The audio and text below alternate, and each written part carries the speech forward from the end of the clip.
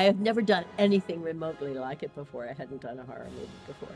So it was uh, a little startling, but I was ready to go. I thought, well, this will be interesting, and it sure was.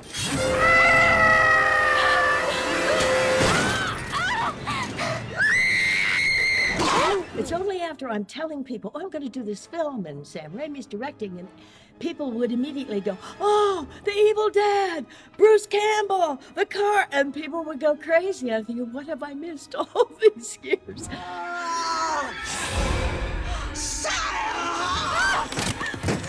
It was a blast. I had no anticipation I would enjoy it so much. It was a blast.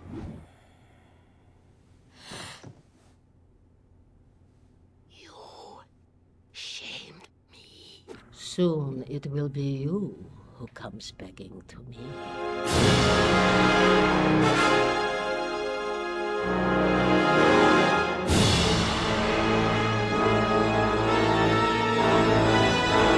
When I auditioned for it, I auditioned initially, of course, for the casting director, John Papsidera. I did not see the full script. So, fine, I was called in to do uh, for a callback with Sam.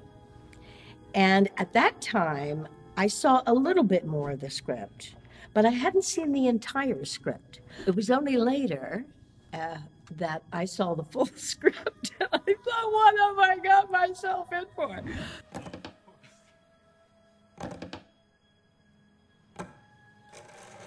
Will you help me? To be honest, I wasn't sure about this because, as I, you know, I, I was not, uh, horror was not my genre necessarily. So I was intrigued by it and I thought it would certainly be an interesting adventure.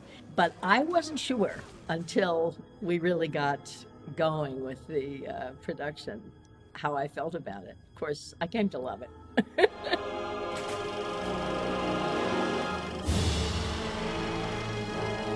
Sam was terrific to work with. I mean, nobody can say anything bad about Sam Raimi to me. He likes to know what actors think, and he's very considerate, uh, and so he's a delight to work with from that from that standpoint. Now, aside from the fact that he had this kind of courtly manner, and you think, hmm, he's got a little twinkle.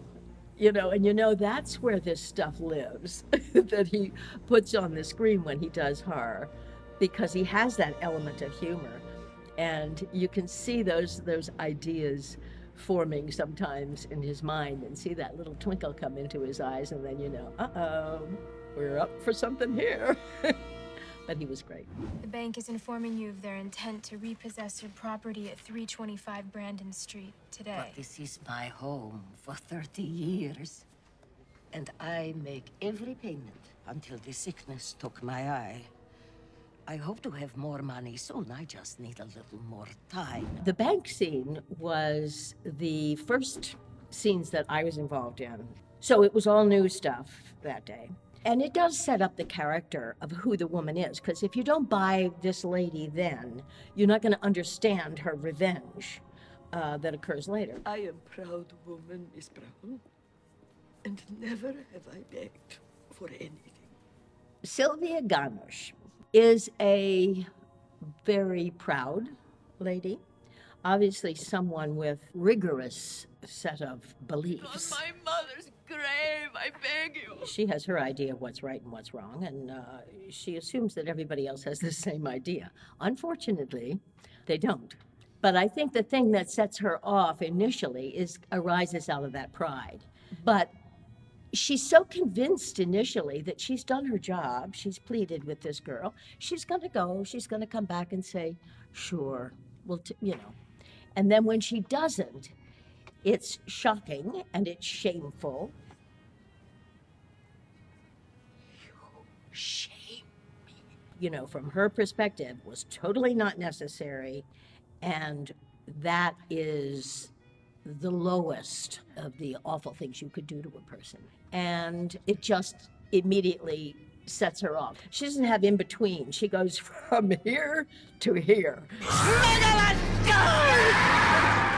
She is so outraged and so humiliated by the experience that it's the beginning of where she goes from there. We don't know where she's going from there at that point, except that she's really mad. I think that's the main thing that is set up in that particular scene. My house, the men are packing all my things, private things. The uh, production sent me to Berlitz to work with a Hungarian dialect coach. When I did the audition, I kind of did my, not knowing specifically what that accent was, I just kind of did my garden variety, all purpose Eastern European accent, which interestingly enough turned out to be very close to what uh, would be appropriate. Uh, I worked with a great lady there. We worked on the accent and words that I can use just to throw at her. There's a word for bitch, which I Oh. could use. Let's hear that. Saiha. So it was really great to have the opportunity to work with her. We just worked together once, um, but it was very helpful and, and very useful. The first shooting we did on the fight scene in the car was in a parking garage that was, you know, quite grim, which was great because it was exactly what was called for but not very comfortable. It was really interesting to me to shoot. Sam, of course, had ideas about what he wanted to happen, and he would kind of describe what he wanted from moment to moment. Our stunt doubles were there. Allison's stunt double and my stunt double, Anna, were there. And they'd give us, you know, hints about things, how you make this look effective, what makes, you know, which was terrific. Allison and I both wanted to do as much of the work as we possibly could. So we were able to do quite a bit of it uh, in that i situation.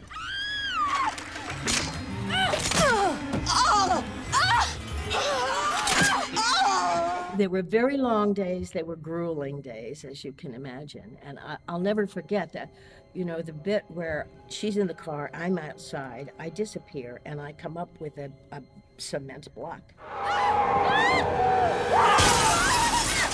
That was like at 13th hour or something, late at night.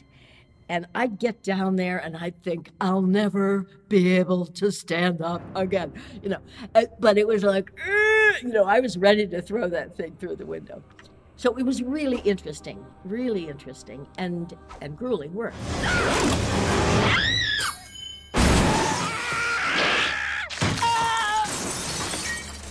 Later, we revisited that fight scene a gazillion times on set with the puzzle car. They have a car that would come apart, and we they could shoot close-up bits, uh, like the when I'm chewing on her chin. We just shot and shot and shot on that thing. I said to Sam at one point, "You're going to have more pieces of film than Hitchcock had in the shower scene in Psycho." But it was all really interesting stuff because it was all new stuff to me. Some of the techniques to be able to do that. So it was great. As urdug Sion.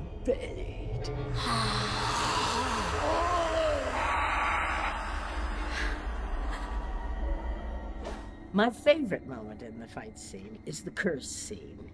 It was interesting technically, but it's also, I guess, partly because that moment is really about a lot about the acting, as opposed to, am I putting my mouth in the correct position for a ruler to go crashing down into my throat? You know, an interesting thing that I learned in that scene that uh, I really had not thought of much before. There's a very close scene when, right after I do the Lamia with the button, there's a tight shot on me.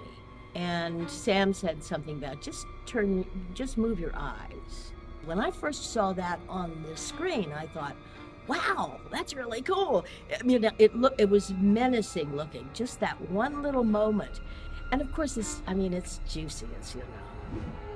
Soon it will be you who comes begging to me.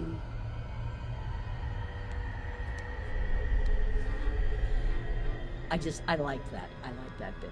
But that's my favorite. I need to see her. I need her to forgive me.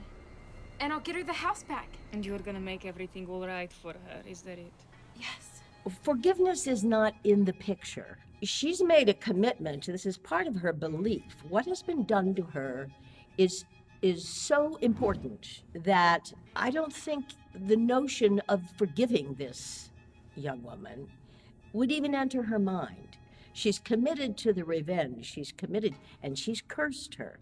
And once she's cursed her, she's brought in powers that are beyond her. She's now invited the power of the Lamia into this situation.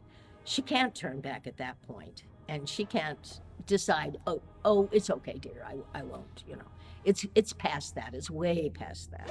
You deserve everything that is coming to you. So, regardless of how much the character pleads with me, it's too late. I have now cursed her, and that's a power way beyond me as an offended woman. I have introduced the power of the Lamia, and it's too late to think about forgiveness.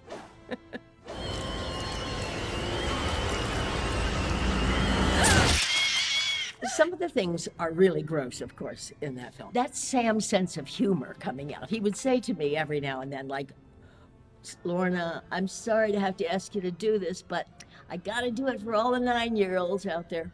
One of them was that mucus thing in the bank where I'm like, you know, it's just coming out of me. It's really quite disgusting. I've got that handkerchief which is all full of snot and, you know. I mean, that's that's part of Sam's sensibility. You know, his movies have a have humor in them. They're not just straight scary horror. They almost have a comic book sensibility in some uh, in some situations with the, with the anvil falling on my head, you know. That's one of the things that I like about his work, actually.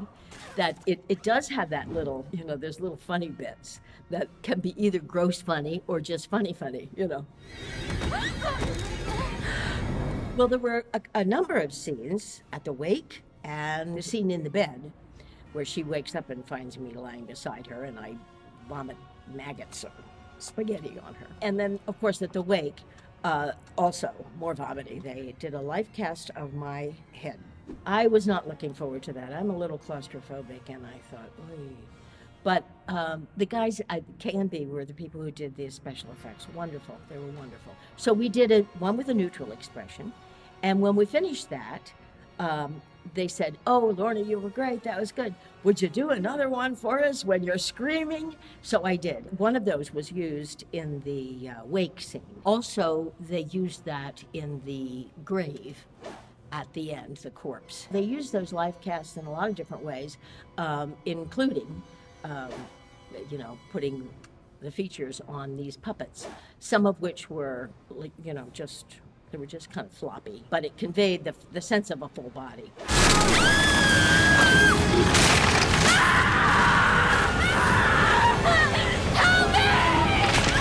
Mrs. Goddard does prevail. She wins the contest. Uh, it's too late for for Alice's character to um, excuse herself from what she's done. She made a moral uh, error. She made a decision that was immoral, really. Uh, she knew she was making the wrong decision when she refused the money. She did it purely self in self-interest, and um, it was too late. There's of course Justin left with the button, which I thought, well, maybe they're going to do a follow-up of this, and we, then we see what happens. To, would the Allison character come back? I mean, you know, it's it. The ending leaves it open a little bit as to possibility, uh, there are possibilities that something, that there's a life after what we're seeing on the screen.